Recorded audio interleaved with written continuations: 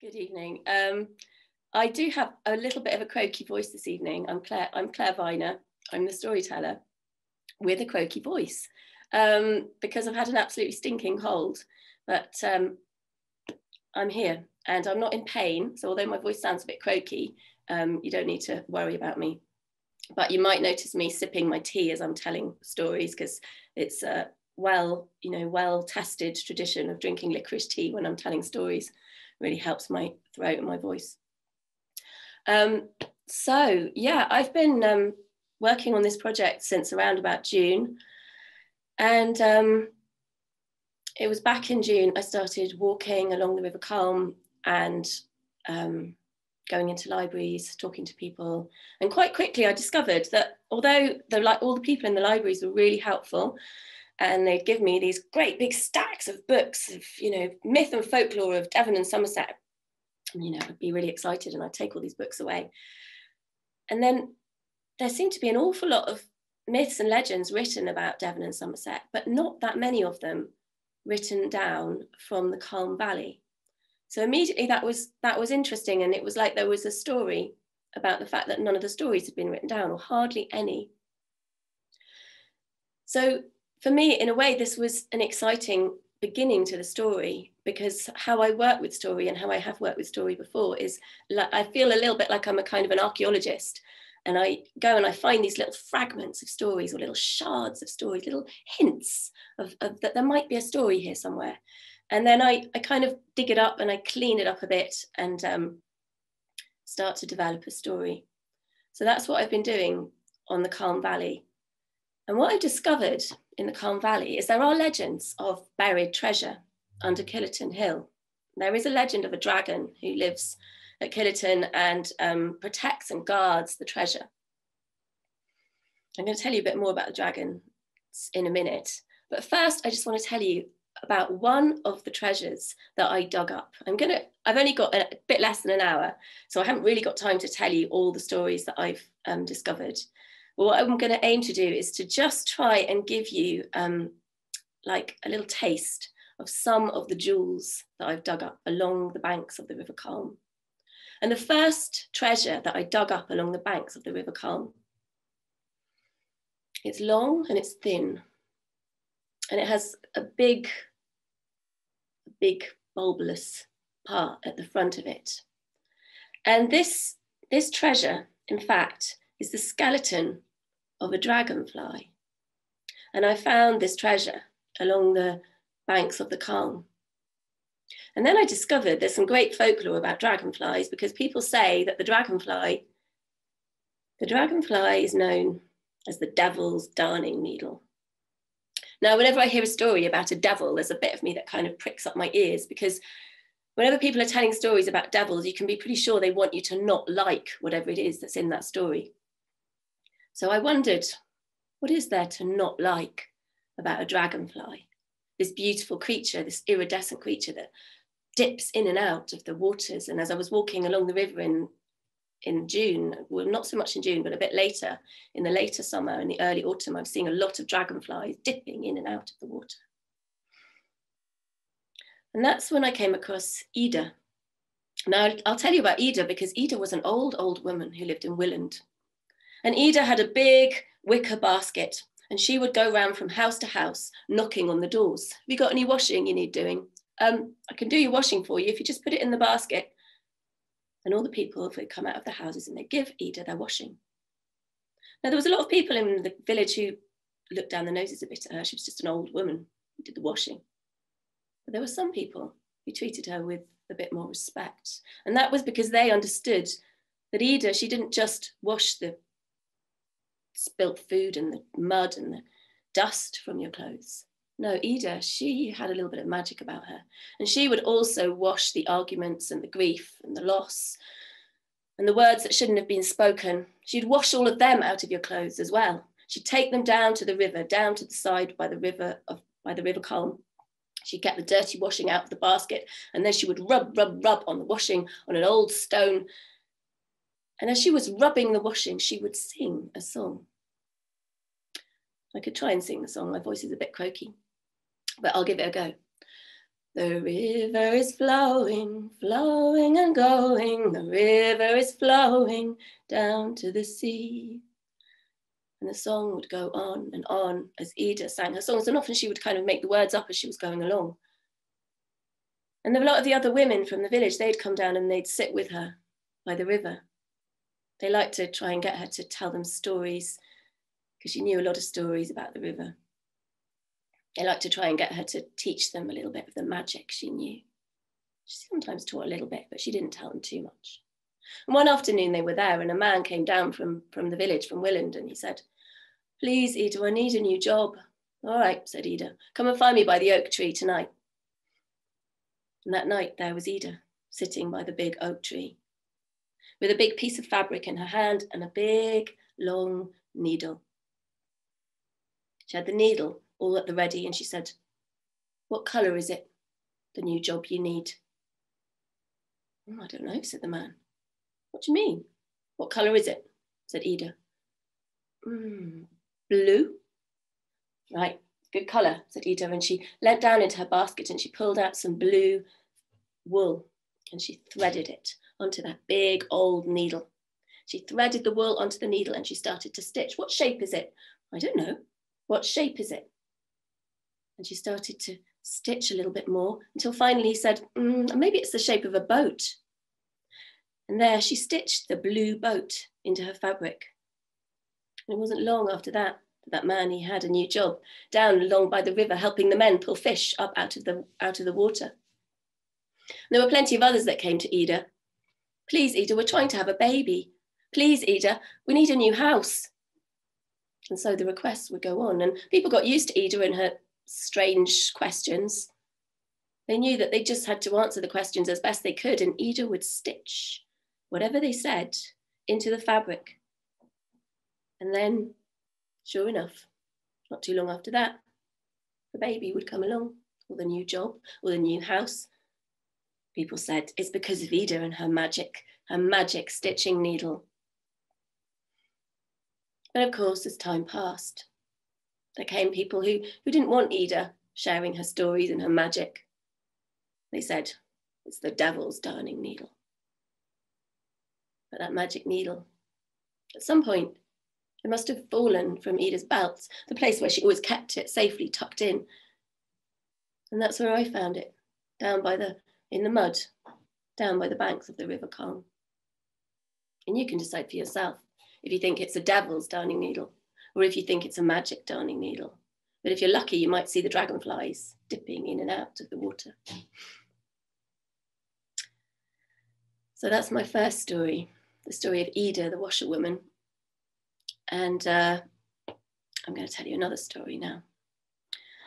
Because if you go down the River Culm and you go from Willand and you keep going, following the flow of the water down past Cullompton, and you keep going and you go down past Silverton and finally you get to Killerton. now, if you've been traveling along this path, this watery path, a few thousand years ago, you might have found when you got to Killerton, there was a big dam there across the water. And it was built by the beavers. They dammed up the water there down at Killerton. So any little boat that came drifting down the water would stop there once it got to Killerton. Now, the story goes that if you go to Killerton, up there on your left, if you're in a little boat in the river, up there on your left is Killerton Hill. And the story goes that there's a dragon that lives in Killerton Hill, and there's another dragon that lives on the other side of the river over on your right, and that's at Cadbury Hill. And the story says that the dragon, he winds his body around and around inside the hill, whichever hill it is that he's in. And he's been there for thousands of years, just there inside that hill, and he's always looking, looking out. He's always watching. And you can never quite know if he's in Killerton Hill or Cadbury Hill because he flies across at night time. But if you go up, even to this very day, if you go up to Killerton or Cadbury Hill and you look around, you might find a puddle or a pool or a kind of whir in a tree or a stone with a hole in it. And that, whatever it is, that might just be the place where the dragon is looking. It's impossible to tell where his eye is actually looking out from, but you can be sure that his eye will be looking out somewhere on that hill. And on this particular day, quite recently, there was a woman walking up the hill. The dragon looked at her as he looked at everyone. And as he looked at her, he could see inside her. That's the thing about dragons, because they've got fairy blood as well as dragon blood. They can see inside a person as well as the outside. And as he looked into this woman, he could see, he could see that she was very intelligent and he could see that she had a vision. Ah, thought the dragon as he looked closely at her. She has a vision. And I recognize that vision because the vision the woman had was a vision of the river in a very different place from where it had been for a long, long time. This woman, she understood that the river needed to go slower and that there needed to be pools and ponds and that the floodplains needed to be opened up again. Now, this woman, as it happened, was a scientist, but that didn't mean anything to the dragon. He could just see inside her head and she, he could just see what it was that she wanted for the water, for the river, she wanted the water to be crystal clear again, like it used to be, and so many more things. And the more the dragon looked at her, the more the dragon began to remember how it used to be for him long, long ago, thousands of years ago, when he was just a young dragon. You see, the dragon could remember the warriors who used to live there on the hills. The dragon could remember those warriors with their matted hair and their matted beards and their eyes as bright as tigers' eyes. The dragon remembered. What fun the warriors used to have up there on those two hills with they used to light big fires. And often they would tell stories wonderful stories about what they had done when they had gone down to the river to meet with the ladies of the waters and whenever anyone new arrived, because from time to time new warriors would arrive and come up to join them there on their hills, whenever anyone new arrived, they'd say, You must go down to the water and call on the ladies of the waters.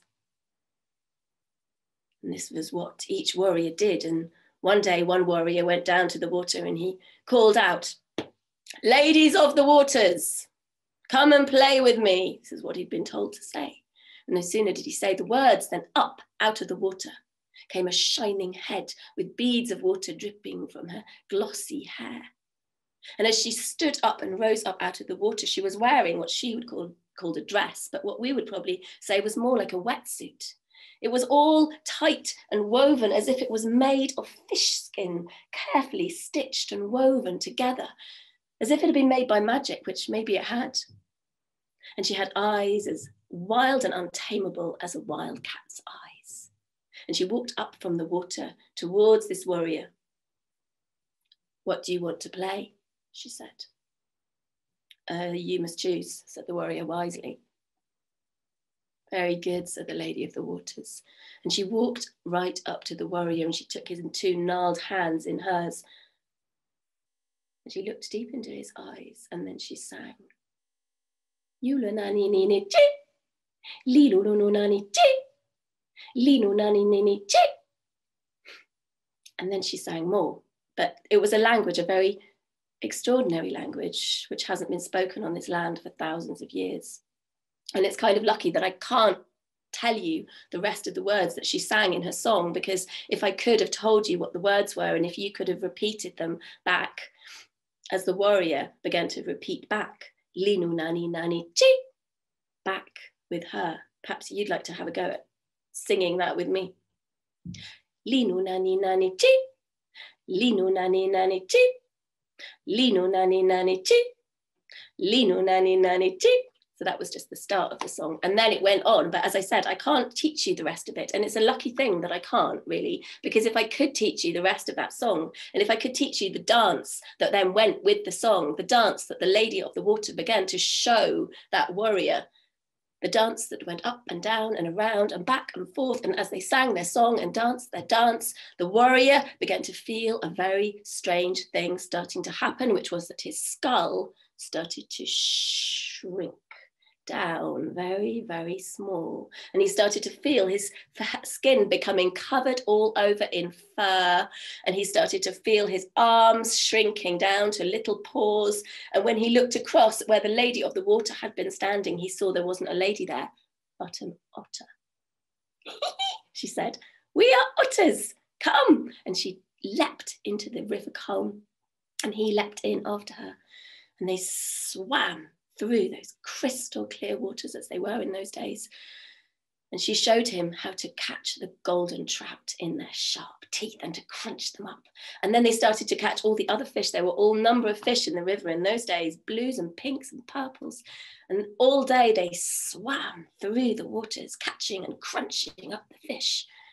Oh, the joy of it, the thrill of it, of being an otter, of feeling the water just looking at it, not just looking at an otter, but being an otter. And at the end of the day, up they came and out of the water. And the otter, the otter lady, she banged her tail three times on the earth.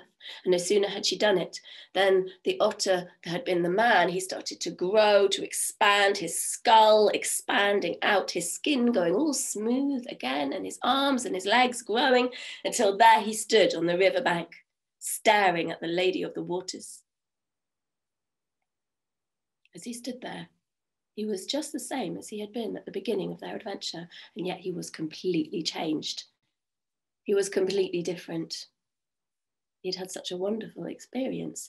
And when he went back up to the top of Killerton Hill, where all the other warriors were sitting around the fire, he told them the story of what had happened to him. And all the others, they said, yes, yes, and they told their stories. And there was one of the knights there, his name was Geraint. He came from Clayhidon. I haven't got time to tell you all of his story now, only to tell you that he had a great many adventures with the lady of the ladies of the waters, and one of them was where he became a white deer. But I can't tell you that story now, as I haven't got time, but only to tell you there were many, many tales of becoming kingfishers and beavers and wolves and bears and all number of creatures there by the river. And the men, the warriors, they loved that river and they loved the ladies of the waters and all the animals and the land with such a passion and a joy in their heart because they didn't just look at it, they became it. But there was a great deal of destructive forces moving across the lands at these times. Boats, many, many boats coming up and down the rivers filled with armed men this was the reason Geraint had come to join with these warriors, and many of the others had come from other parts of the country, all of them coming together, trying to fight against these destructive forces.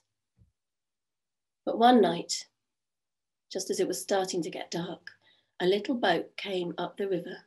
And in the little boat, there was just one man, and the little boat hit the beavers dam.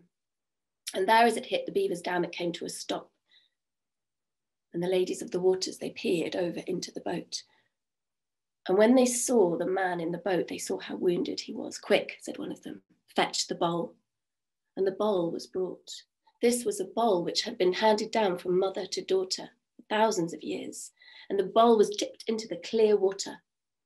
And one of the ladies, she breathed over the bowl. And no sooner had she breathed on the bowl than the water in the bowl started to shine like a star.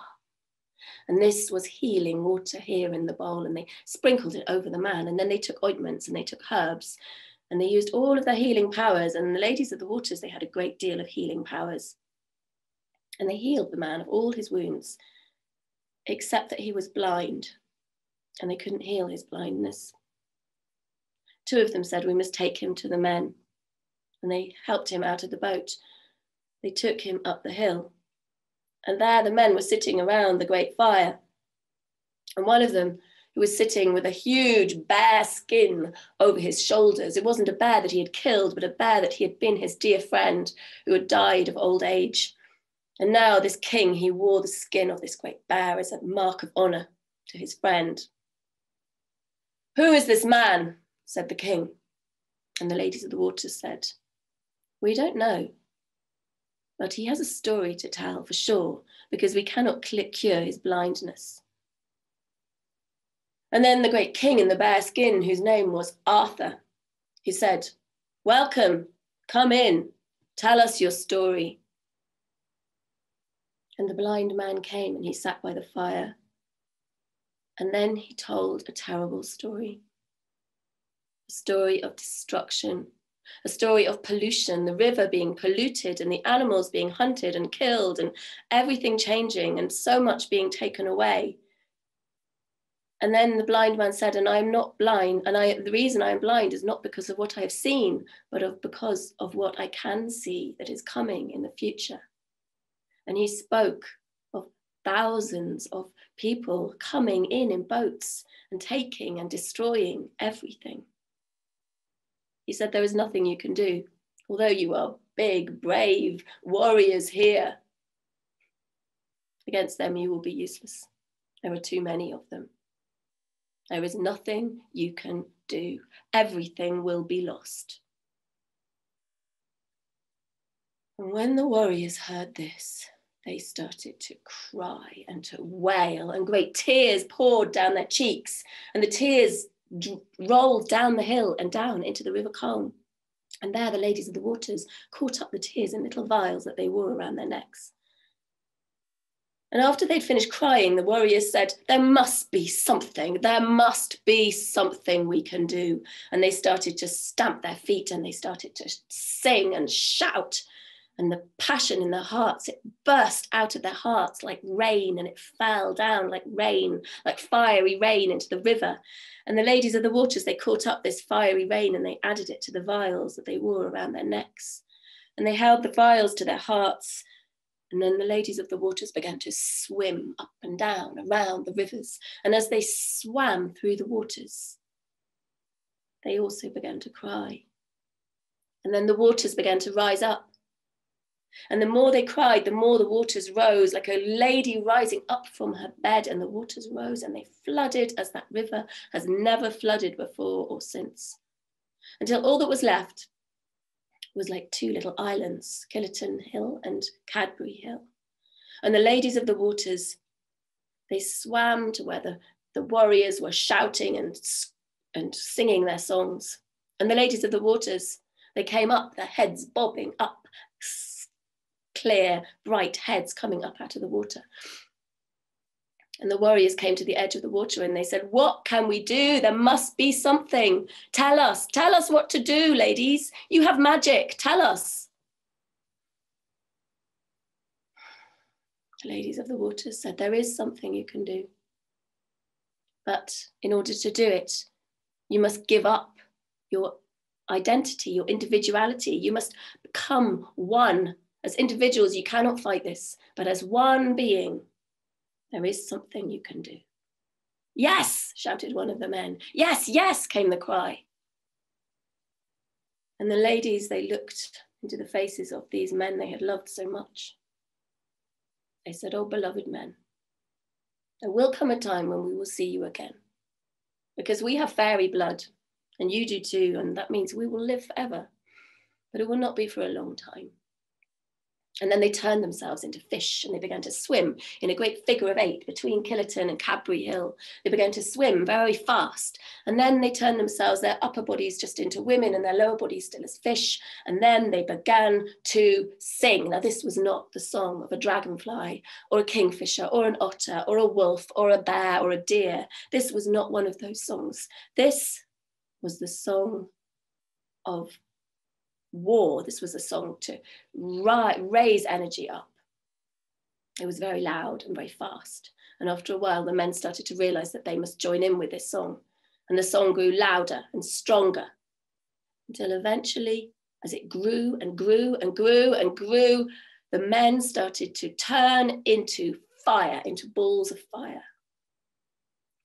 And just then, all the birds from the forest, they came flying in and they caught some of the fire on their wings and they began to fly between the two hills as well.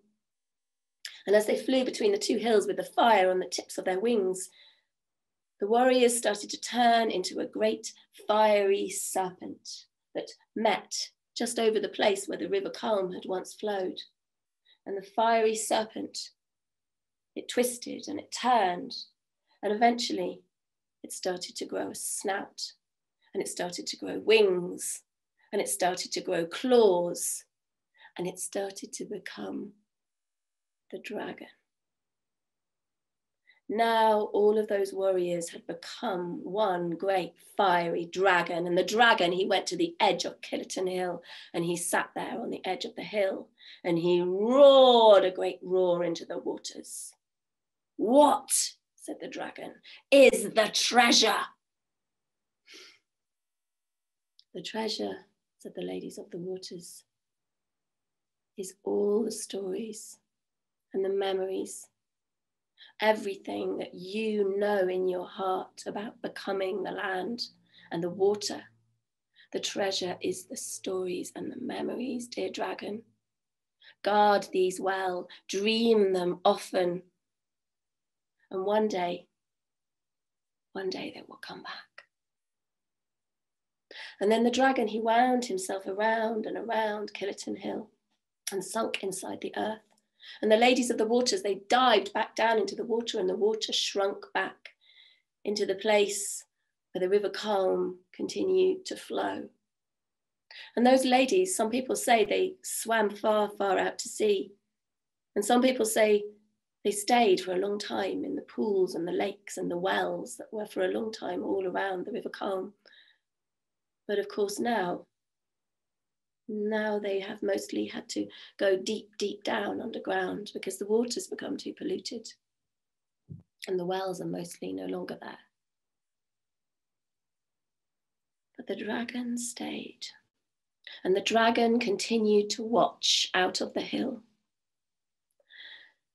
The dragon was watching every day with his eye as history turned and the landscape changed. And then, on this particular day, as the dragon was watching, and he saw this woman, this very clever woman. and in this moment, the dragon under his hill, he smiled a great smile and he said to himself, hmm, All that dreaming I've been doing, all that dreaming of my beautiful valley and my beautiful waters. The humans are starting to receive it at last. And that night, when the dragon went to sleep, he had a wonderful dream. He dreamt of the pools and the ponds and the lakes and the wells again. And in his dream, he stretched out his claw and he scratched a great pond out of the landscape. And when he woke up in the morning, the dragon could hardly believe it because there in the floodplain, where the pools and the ponds are long since gone, there, scraped out in the shape of a dragon's claw, there was a new pond. It seemed the humans had built it. And the dragon, the dragon nodded there under his hill and he wondered to himself, well, if I keep dreaming, if I keep sending my dreams to the humans, I wonder if the animals, if they'll all come back, the beavers maybe. I wonder if the trees and the biodiversity and maybe the children, oh, the dragon remembered the children, how they used to sit there by the river, dangling their feet into the water and begging the ladies of the water, please, please teach us how to become otters and beavers and all those things that you teach the men. But the ladies would always say, no, you're not old enough yet maybe the children would come back too and they would start learning by the river again. And maybe the ladies of the waters would come back. Maybe they would.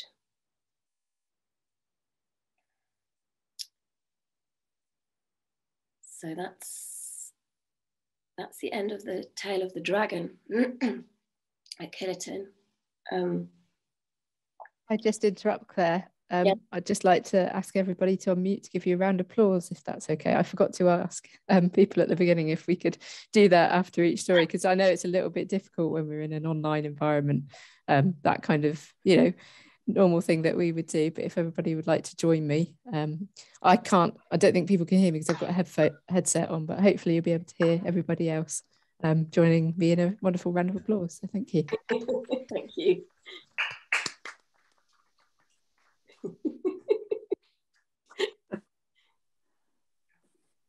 Yeah, thank you. Um, I mean, all of these stories, they're all um, kind of evolving and growing all the time. They're not scripted. So each time I tell the stories, they're a little bit different.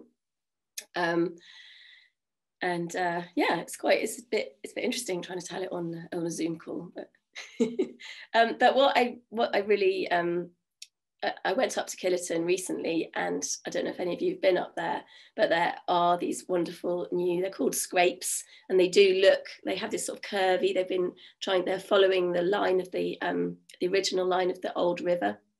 So, so that, you know, they're these kind of organic looking shapes, and they are kind of like ponds being dug out so that when the river floods, it can start to return to this um, kind of natural, more natural state of having ponds and pools around it.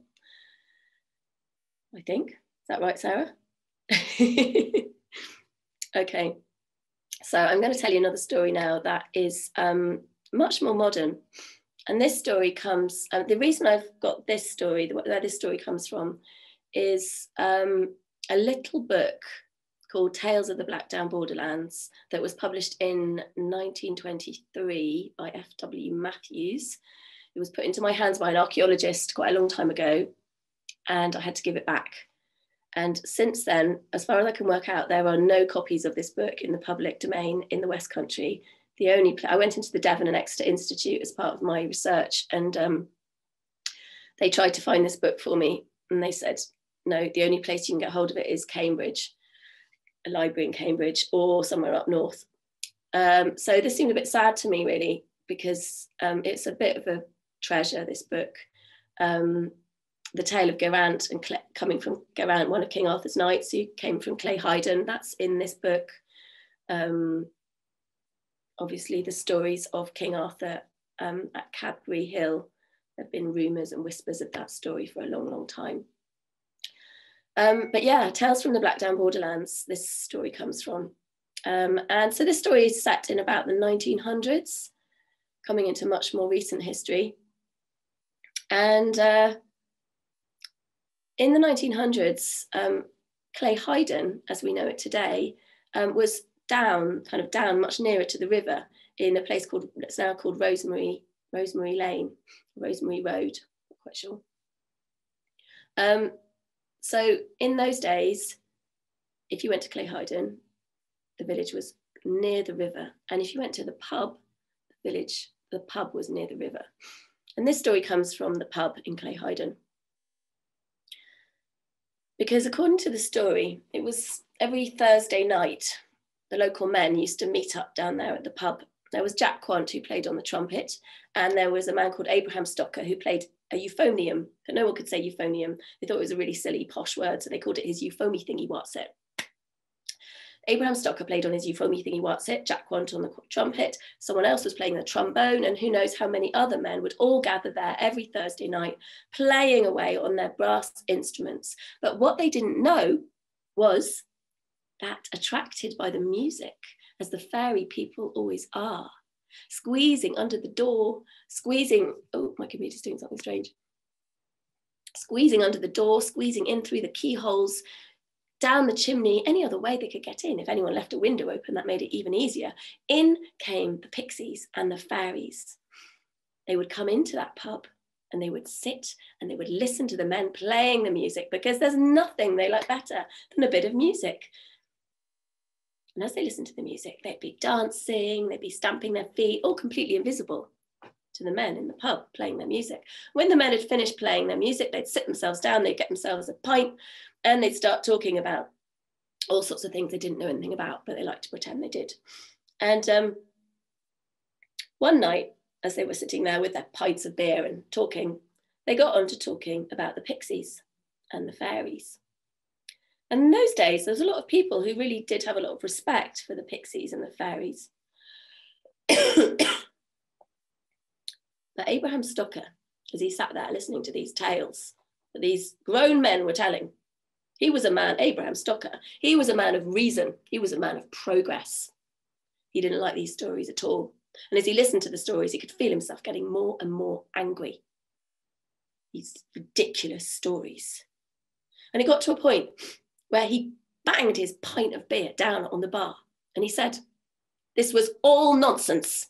There weren't no such thing as pixies, nor fairies, nor jacksies. They didn't exist. And that were the truth. He picked up his euphony thing he what said. He pulled his hat down over his head. That were the truth, he said. If that be the last words I do speak. And saying that, he stormed out of the pub and banged the door shut. Pixies were all rubbing themselves. Because you know, if you say the pixies don't exist, they start to disappear. And some of them started to really get quite upset. But amongst those pixies, there was a great queen whose name was Joan the Wad. Joan the Wad, the queen of the pixies. And Joan had left her wad, her great wad of burning hay and straw outside the pub. She never brought it into a human dwelling. But when she heard these words, and she saw how frightened all her pixies were, and all the fairies were as well, she said, Now you listen to me, my friends. This man, he is very lost, and we must show him the way home. Come. And she took all of the pixies out of that pub. She picked up her burning wad of hay and they disappeared out into the night. It was late autumn and a very cold, frosty night. As Abraham Stocker was stumbling home, he'd had a beer or two and he kept tripping and falling over. When he picked himself up, la la la la la la la la la, there was a little light up ahead of him. It was funny. He thought, I think I must have must be a light. Someone's left it on in one of the in the village of Ashcombe. That must be where I'm going. He lived in Ashcombe, you see. He had all that way to go, but he knew that way like the back of his hand, but he started walking in the direction of the little light. And he stumbled and he fell again. La la la la la la la la. It's funny, he said, oh well, he started walking in that direction. And he fell again. La la la la la la la la la la la la la la la la. Every time he fell over and picked himself up, the light seemed to be shining in a different direction. And he kept on following it and following it. And then suddenly he felt his feet very squelching underneath him. And then, before he had time to really take in what was happening, he felt his feet sinking into the ground. And, and the next thing he knew, he was up to his knees and he started struggling and he was up to his waist. And then, with a horrible moment of realization, he discovered that he had fallen into the springline mire, a bog far from the path that he should have been taking back to Ashcombe. And he knew in that moment that if he kept struggling, he would just sink down into the water. Because he'd seen many, he'd heard the stories in the pub of many cows and horses that had struggled and met a watery grave there in that boggy place. And then he saw something that frightened him even more, which was there in front of him with her great burning wad of hay. Was Joan the Wad, the queen of the pixies herself. Oh, Abraham, she said, you have come a long way from home. We've come to show you, we've come to show you the way back. and then she began to sing a strange song in a language which he had never heard before. And then he started to see all the other little pixies all around him all holding little lanterns. And as they stood all around him, they were all seemed to be pointing at him and giggling.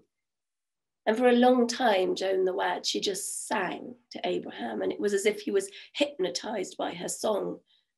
And then very suddenly, the song stopped, and Abraham felt just how cold he was. Oh, he said. He knew that if he struggled, he would sink, but if he stood still, he would surely freeze to death there in the there in the bog. Just then, Joan the Wad, she leant across and she whispered something to one of the pixies. As quick as a flash, the pixie turned herself into a little bird and flew up onto Abraham's shoulder. Abraham, said the pixie.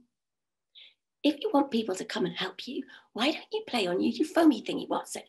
People will hear the music and they'll come. Oh, said Abraham, and he twisted his euphony thingy what's it around and he started to play. Pom, pom, pom, pom, pom. The sound echoed out across the hills. You can join in if you like, and we can do a bit of pom, pom, pomming. He's got to pom pom really loud because he's trying to get the attention of the people to come and rescue him. So I can't see if you're joining in because you were muted, but you know, you can try. Pom, pom, pom, pom, pom, pom, pom, pom, pom, pom, pom, went Abraham's euphony thingy, what's it? And far away out in the village of Ashcombe, people started to hear it, this pom, pom, pomming. And his wife, her name was Poll, she heard it first. She said, That's my Abraham, he must be in some kind of trouble. And she got the men in the village to help her, and they made their way out it, it, over the hills in the complete darkness. And they just followed the pom, pom, pomming and it was Poll. She got there first. And as soon as she got there, she saw Abraham up to his waist in the bog, and she saw the queen of the pixies, and she saw all the other pixies all around. And she knew that Abraham always said he didn't believe any, any of this stuff, and she knew how frightened he'd be. And she called out to him, she said, Abraham, turn something inside out. Huh? said Abraham.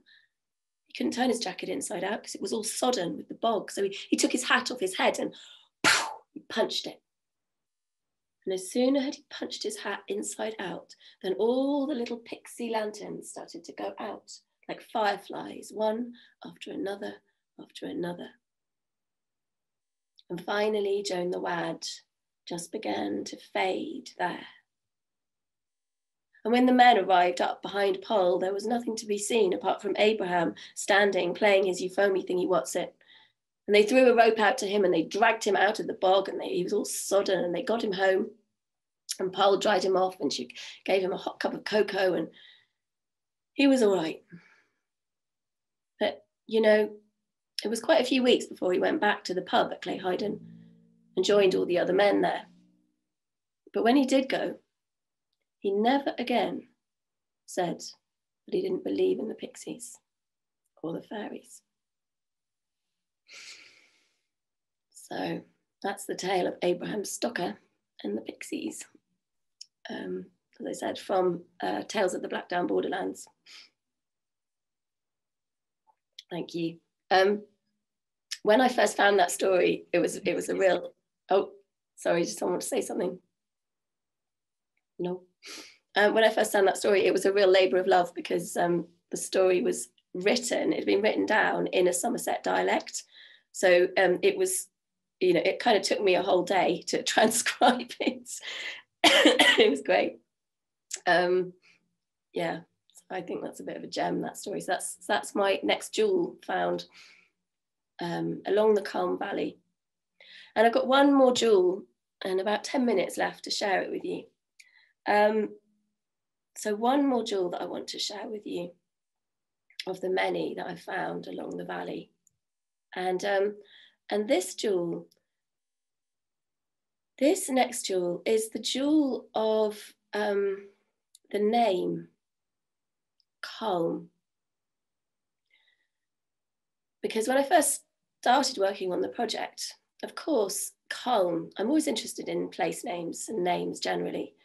And I was immediately curious, well, what does Culm mean? So I looked it up, you know, as you do. I went on the internet and um, according to the internet, it possibly might mean come from a Celtic word, which means knot or tie. Um, I quite like that because it felt it linked in with the kind of the history the textiles history on the in the Culm Valley. Then I went to Cullompton and I was told no, this wasn't the meaning of the word Culm. Um, Culm came from Saint Cullum, and um, so and Saint Cullum is said to preach with down by the River Culm. So that's why the river's called Culm. But then I discovered that there isn't just one St. Cullum, but there's actually two. There may be more, but I've discovered two so far. There's one St. Cullum who comes from Scotland and I, well, he originally came from Ireland and then he went to Scotland and preached in the north of England. But there's another St. Cullum much, much closer. And this St. Cullum comes from Cornwall. And when I started to explore this St. Column, I discovered that she is a woman and that she has a very intriguing story. So, as I said, I haven't got time to tell you the whole story, but I'm going to just try and give you a little taste of it. So, St. Column from Cornwall. Well, the story, again, is in Cambridge. It's written down in a document, very old document, that's kept in a library in Cambridge. And in this very old document, it tells that there once, long ago, was a great queen who lived in Cornwall, whose name was Morgause, or Morgana la Fay, half sister of the great high king of these lands, King Arthur. And Morgana la Fay, one of the nine ladies of the lake, she had nine daughters. Now, the thing about being one of the ladies of the lake, this time, this time where there were great destructive forces rushing across the land, Morgana knew that things were changing and changing fast, and that things for women were changing fast. And when she looked at her nine daughters, she was frightened for them. I must teach them some powerful magic, she thought to herself, so they can protect themselves. And she took her nine daughters out in the half light when the moon was full, and they gathered all things they could find that were white and silver. And as they had gathered these things, then Morgana, she cooked up great spell. And with this spell, she taught her nine daughters how to turn themselves into doves. Now, there was a very specific reason that she chose doves. Doves and pigeons, they're in the same family. And the Latin and French word for them is kalum. Kalum. And the thing about doves and pigeons is they are fantastic at escaping from predators. They have very loose feathers at the back. So when a predator goes to snatch at them, the feathers simply come away in the mouth of the predator. And they also have a very particular way of rising up very, very fast. So they're absolutely brilliant at escaping from predators. And the other thing about doves is they are homing birds.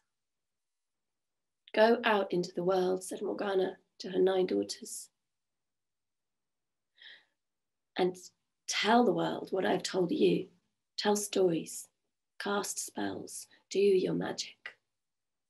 Let it be seen, but keep your freedom because your power is in your freedom. And any man that tries to take that from you, you must never submit. So the nine daughters, they went out into the world, and one of them, Kalum, the dove woman, she came to Cullompton. And there she sat by the river in Cullompton, by the River Culm. Not just Cullompton, I suspect, but all along the river. Down there she sat by the river, by the wells, by the pools, by the lakes that were once there. And the women from the villages, they would come and they would sit with her and she would tell her stories and she would share some of the magic that her mother had taught her. Of course, there was a king who came across the land and he didn't like the power that she had. And he decided the best way to take the power away from her was to force her into marriage. And of course, she didn't want to marry him because she knew that would mean losing her power. So he said, Very well, you won't choose to marry me, then I will. I will make it impossible for you to refuse me. And he went to snatch at her. But as he went to snatch at her, she turned herself into a dove and she flew. He was just left with a handful of feathers. And again and again, three times he went to snatch at her, and each time the dove's feathers came away, but each time she weakened a little. And the third time he went to snatch at her, she didn't have enough energy to turn herself into a dove. And she remained in her human form. And she was much more vulnerable like this. So he took her and he put her into a tower with a very, very tall tower with a little window right at the top. He said, You will stay there with no food and no water. You will submit to me. But that night, there was a great flight of pigeons and doves that flew around the tower. And that great flight of pigeons and doves, they flew in through the little window in the top of the tower and they flew down and they had medicine and food and water attached to their little legs. And then they turned themselves back into women and they coo, coo, coo, coo, coo, cooed to Kaloum, their sister. You can do a bit of cooing too if you want to. Coo, coo, coo. It's a bit difficult with my croaky voice. but after three days and three nights, Kaloum, she had regained her strength. And once again, she was able to turn herself into a dove and she flew up out of the window and was gone. Of course, this made the king very angry and he continued trying to snatch at her. And three times he caught her, and three times her sisters came to her aid and they cooed and they comforted and they helped her restore her strength. But on the next time that the king caught her, he said to her, You've made it clear you're not going to submit to me. And if you won't submit, then I will destroy you. And he brought out a great wheel and he was going to break her in some horrible way on this wheel. But no sooner had the wheel been brought out and Kaloum had been marched out by the soldiers than the doves, they came, the doves and the pigeons, and they landed there on the wheel and they coo, coo, coo. And they cooed three times and the wheel turned to dust. But the king would not be so easily defeated as that.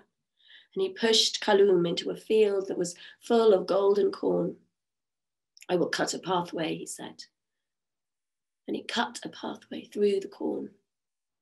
And Kaloum was pushed and pushed into the final corner of the, of the corn until finally her head was cut from her shoulders like the corn is cut from the stem. But where the blood fell on the ground, fresh water sprung up, a spring, bubbling, clear, fresh water, and Kaloum felt herself falling down, down, down into the water and down she went to the underworld.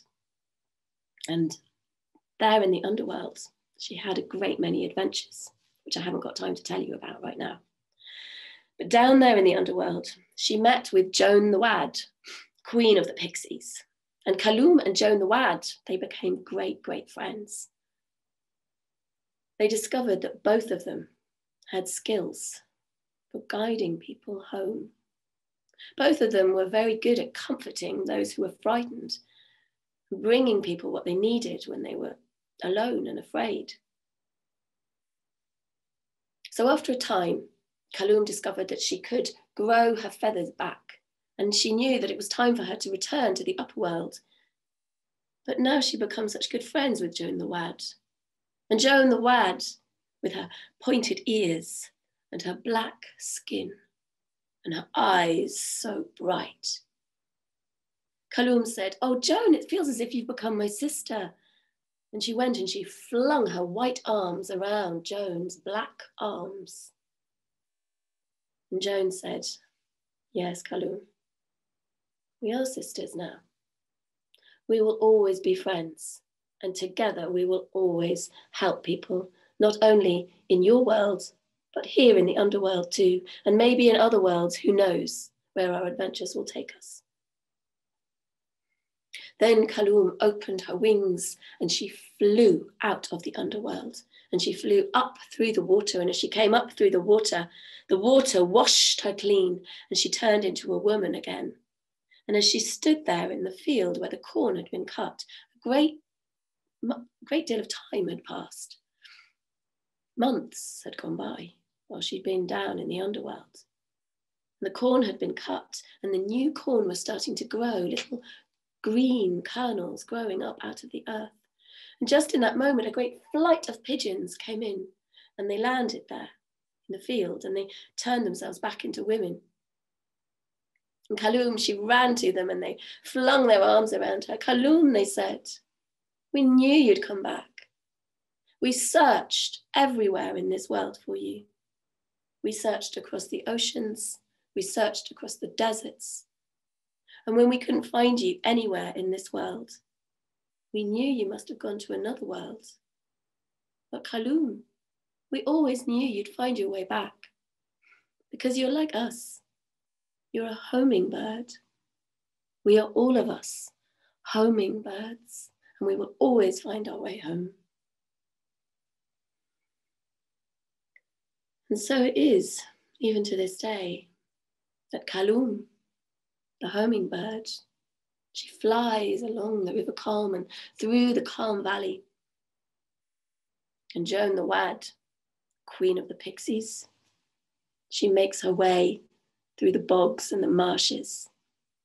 And both of them, they will be guiding people safely back home.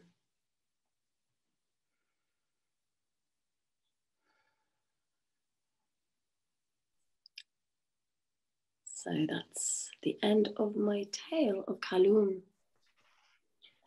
Um, yeah, personally, I find that story um, really comforting, and I really love the idea of Cullompton coming from the word Kaloum, because um, I've got a French friend, and I asked her what's dove in French, and she said, "Ah, it is Kaloum," and I thought, "Oh, Kaloum, it's so beautiful."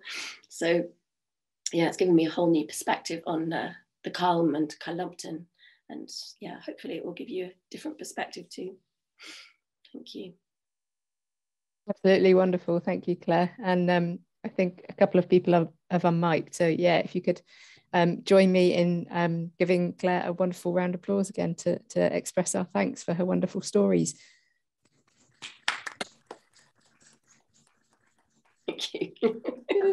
and if anybody um, would like to ask a question or um, anything at this point, you know, if the we've got a few minutes just to explore anything, if anybody would like to, um, yeah, ask anything. I'll stop the recording at this point, um, actually.